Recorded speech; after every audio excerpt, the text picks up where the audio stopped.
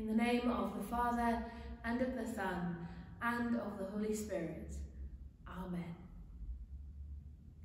Jesus told his disciples, If any want to become my followers, let them deny themselves and take up their cross and follow me. For those who want to save their life will lose it, and those who lose their life for my sake will find it.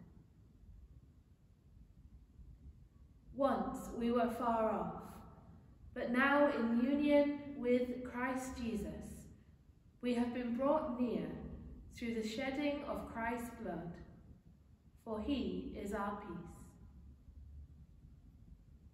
Let us pray.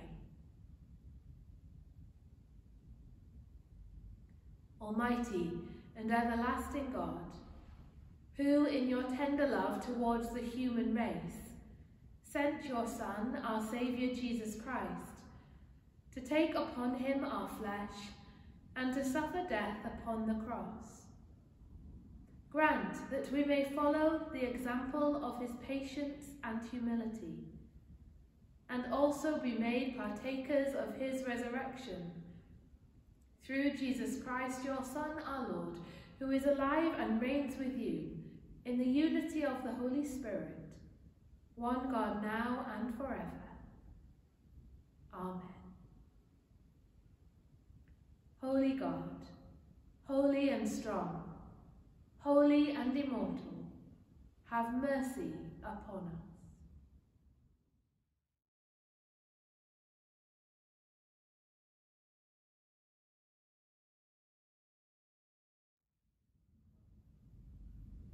We adore you, O Christ, and we bless you, because by your holy cross you have redeemed the world. A reading from the Gospel according to Mark. And they crucified him, and it divided his clothes among them, casting lots to decide what each would take. The God of all creation, the one whom angels worship, the Lord of the universe. Yet look at him now, stark naked, humiliated before a mocking crowd. Jesus has lost everything. His friends have run away, his possessions have been taken from him, his clothes have been shared out among the soldiers. He literally has nothing. And in the eyes of those who are crucifying him, he is nothing. In this moment of nakedness, Jesus symbolizes the whole human condition. None of us has anything. We enter the world naked and we leave it naked. Our proud achievements, our wealth, our learning, our accumulated power are nothing. But in this moment, as God shares in our nothingness, he makes our nothingness into something. He is God. He is everything.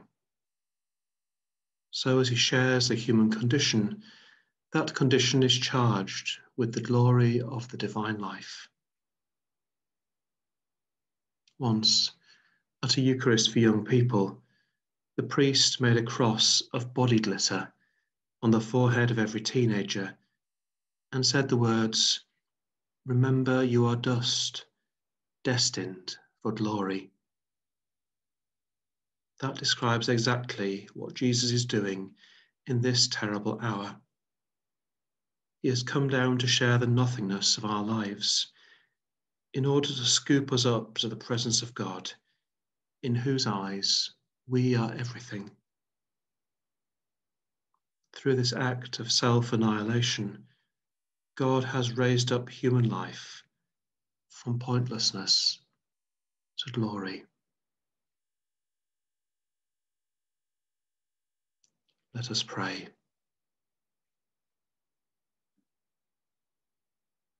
Lord Jesus, you bled in pain as the nails were driven into your flesh.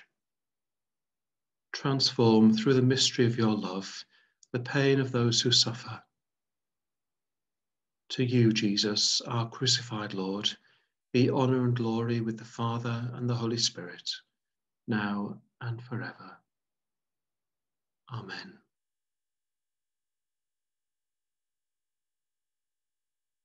Holy God, holy and strong, holy and immortal, have mercy upon us.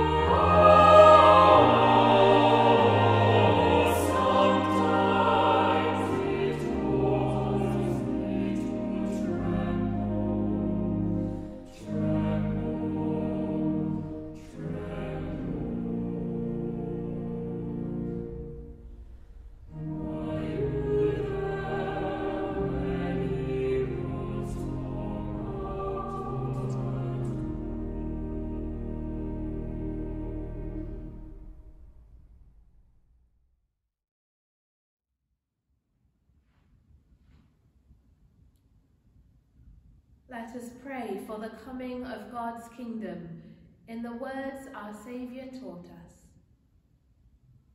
Our Father, who art in heaven, hallowed be thy name. Thy kingdom come, thy will be done, on earth as it is in heaven. Give us this day our daily bread, and forgive us our trespasses, as we forgive those who trespass against us. And lead us not into temptation, but deliver us from evil. For thine is the kingdom, the power and the glory, for ever and ever. Amen. Most merciful God, who by the death and resurrection of your Son, Jesus Christ, delivered and saved the world, grant that by faith in him who suffered on the cross, we may triumph in the power of his victory. Through Jesus Christ, your Son, our Lord, who is alive and reigns with you in the unity of the Holy Spirit, one God now and forever. Amen. May God bless us, that in us may be found love and humility, obedience and thanksgiving, discipline, gentleness and peace. Amen.